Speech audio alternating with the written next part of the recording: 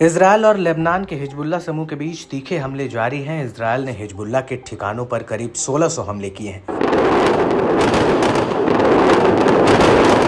इनमें से ज़्यादा महिलाओं और बच्चे समेत 500 से ज़्यादा लोगों की मौत हो गई है, जबकि 1700 से ज़्यादा लोग घायल हुए हैं।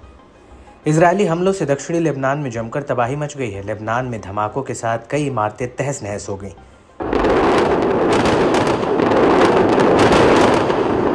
इसके जवाब में हिजबुल्ला ने इसराइल पर 300 रॉकेट दाग दिए। यह हमला बीते 18 साल में हिजबुल्ला का इसराइल पर सबसे बड़ा हमला बताया गया। हिजबुल्ला ने यह अटैक इसराइल के लेबनान पर भीषण हमले के जवाब में किया।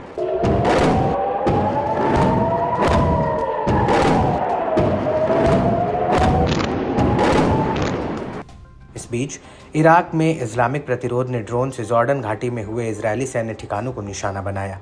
समूह ने अपने टेलीग्राम चैनल के ज़रिए ताज़ा हमलों की जानकारी दी है। प्रतिरोधी गुटों ने बताया कि ड्रोन हमला गाजा में फिलिस्तीनियों के समर्थन में और इसराइल के खिलाफ प्रतिरोध जारी रखने के लिए किया गया। दावा तो ये भी है कि इसराइल के डिफेंस सिस्टम लड़ाकों के ड्रोन को रोकने में विफल रहे। इसके चलते रेमन एयरबेस पर ज़बरदस्त धमाका हुआ है। इसके इलाके में भीषण आग लग गई।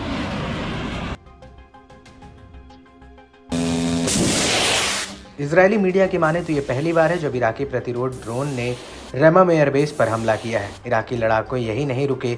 इन गुटों ने उत्तर में एक महत्वपूर्ण लक्ष्य के खिलाफ भयंकर अल अरकब क्रूज मिसाइल से एक और हमला किया। लड़ाकों ने इसराइल के कब्जे वाले गुलान हाइट्स में एक रणनीतिक साइट पर भी ऑपरेशन चलाया। प्रतिरोध ने बताया कि उसने अल अरफद कामिकेज ड्रोन से ज़्यादातर हमला किया।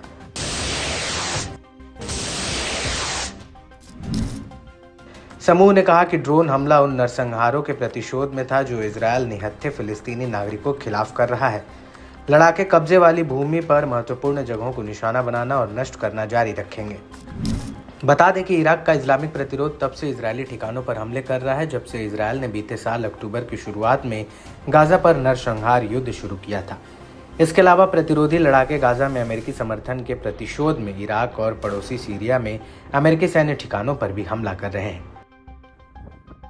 इस बीच इराकी प्रतिरोध ने बड़ा दावा किया है। समूह ने कहा कि लेबनान के खिलाफ इसराइल की किसी भी संभावित जमीनी कार्रवाई के खिलाफ हिजबुल्ला के साथ मिलकर सीधा टकराव करेंगे। इराकी प्रतिरोध ने यह फैसला कताइब हिजबुल्ला हरकत हिजबुल्ला अल नुजाबा और कताइब सैयद अल शुहादा जैसे बाकी इराक में समूहों के कमांडर के साथ बैठक के बाद लिया है। आपको बता दें कि इसराइल ने लेबनान पर हमलों की रफ्तार लगातार बढ़ाई है। बीते सोमवार को इजरायली लड़ाकू विमानों ने लेबनान के कई शहरों और गाँवों पर हमले किए थे।